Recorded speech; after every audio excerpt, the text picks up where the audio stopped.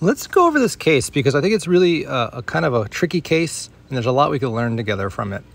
This patient has been through a lot of ortho. In fact, she has some blunting of her roots. She's been through so much ortho and she's just had enough. She presented to me um, after nobody else would take on her case. And so she has a congenitally missing lateral tooth number seven, a peg lateral number 10, and rebounded ortho. And so, you know, generally I try to talk to the patients going to go back into ortho, even clear aligners, but this patient's just had enough. So we're going to try to do this through minimally invasive workflows. Um, here I am removing her old Maryland bridge, which was bonded to the central and cuspid. I'm going to place a ultra narrow 3.0 Eurus implant and I'm going to design the surgical guide using their free Pylon software and the custom healer using their Trust software. So their Pylon software is really intuitive. It's like a wizard-based workflow. It's based off of the Dentique platform, which has been around for a while and is ultra popular and amazing. Um, and so here, what I'm doing in this software is I already pinned the upper and lower jaws to the CBCT, and now I'm extracting tooth number seven virtually. And it lets you design a surgical guide for free. As long as you're placing a Eurus implant, everything is fully controlled. It's all mathematically pre-programmed, pre-programmed for your drill length and your um, sleeve height and everything like that. But of course, you could kind of hack it if you're placing other softwares uh, or their implants, I mean, you could kind of adjust that for and make it kind of work um, because it's all customizable. But here we have the Eurus 3.0 implant um, snuck right in these tiny little space here. I'm barely missing the PDL spaces. I have no room for error here. Um, nobody else would place this implant on her. They wanted to uh, absolutely upright those roots, and I totally um, understand that. And um, of course, I reviewed the pros and cons, uh, what could potentially go wrong here. And I'm really relying on the precision of guided implant placement here for this surgery.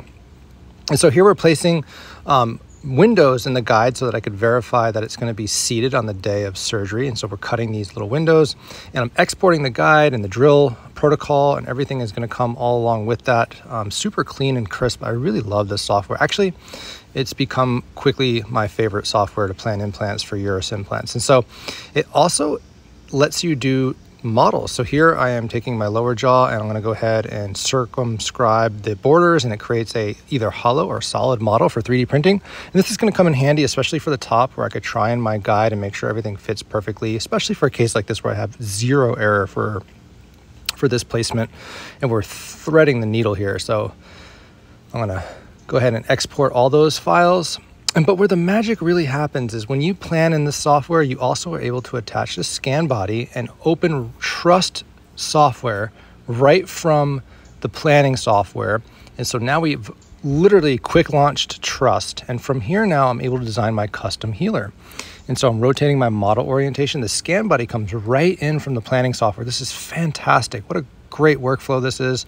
And here I am now marking my custom healer emergence profile. Now you could design permanent abutments in here, crowns, Ti-base crowns, as long as they're all within the um, Eurus.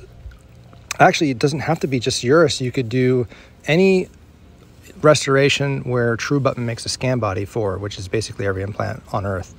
And so here we're designing um, the crown. And then, you know, for anteriors, I will say it is still in beta. It's a little clunky. For posteriors, it's absolutely a dream to work with. So I'm looking forward for when they improve subtle workflows for the anterior. But here we're now um, creating our abutment. We're changing our tissue contour profile here and we're able to do one or two things. We could actually print or mill that titanium abutment, send it to true abutment to mill and you could get the prosthetic fabricated. Uh, you could you could have switched this and called it a Ti-base, and then you could have bonded a crown onto a Ti-base. But what I'm doing is I'm actually melting that custom abutment back to make a little custom healing cap. Um, on the day of surgery, I'm going to actually place this implant and then do some prosthetic work, and I'm just going to let this implant lie buried. So um, I'm going to put this custom healer in and do a Pontic over it instead of immediate load. And sometimes I do that when it's convenient to do so. And so here now it's creating the screw channel through the custom healer. And check this out, guys. It's really powerful. We're going to have a pretty phenomenal um, little tiny custom healer here that we're going to actually print the hex and everything and go direct to fixture with a screw that we will get from True Abutment. And so let's take a look and see. Uh, from here on out, we have free reign to export all these files. We could export the little custom healer like that, and that's going to be printed. We could export even the crown. Um, we could actually export it combined as one file if you want to do that. And so let's look now. I'm doing a tiny little incision. I'm going to push that keratinized tissue to the facial. I do not like punching um, in the anterior, especially, or where there's a lack of keratinized tissue. We are already done with the osteotomies and we're now torquing the implant in. Um, I like to do it by hand when I'm threading the needle like this. And this is timed and depth controlled, so it's really powerful. Um, the Eurus guided kit is phenomenal. So here I could screw this 3D printed crown in, um, but I decided to go ahead and screw the, the custom healer in instead. Let's see how we did. This is a post surgery CBCT. There's the little custom healer screwed in. Everything's looking good, so I'm gonna go ahead and um, suture using a little Vicryl, Vicryl suture here. And once we get this closed, I'm gonna now prep the remaining teeth. I'm gonna remove that old composite. I'm gonna do a little laser, laser gingivectomy there on that 10. And I'm gonna aggressively prep number eight because it is canted and facial. And this is where minimally invasive ortho would have been way better than prepping the teeth. But in this particular instance, the patients just had enough. So we're doing conservative preps um, where we can and aggressive preps where we have to.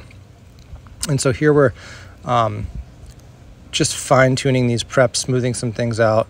Now, on tooth number 10, I couldn't go any more with my gingivectomy. Um, she had plenty keratinized tissue, but we would get a biologic width violation, so I might come back later and do some ossectomy there. See how she heals after this uh, printed temporary goes in. So um, now we're scanning that into the software, and what's cool is we've already actually waxed this up. So all I'm doing is marking my margins and the wax up actually shoots right in. So all I'm doing is smoothing my proximal contacts. There was no designing here, it was already done. And here it is, um, kind of in the 3D smile preview. Look at how incredible um, the change is going to be. And you know, you might be saying, you know, this is something that is hard to achieve. Um, in office, but this is really easy to achieve in office as long as your team is familiar with a little bit of design concepts, these types of same day transformations occur all the time. And so we printed these in about 10 minutes. And so after they came off of the printer, I washed them and now I'm doing my candy coating technique. Um, there's a total YouTube video on that. And then we cured them and now they're going in. I'm bonding them in in place and we're going to let everything heal. And this is her immediately after delivery. I feel pretty confident with the results and I think we're only going to get better as we transition to final prosthetics, in this case after healing and slight gingival perfection.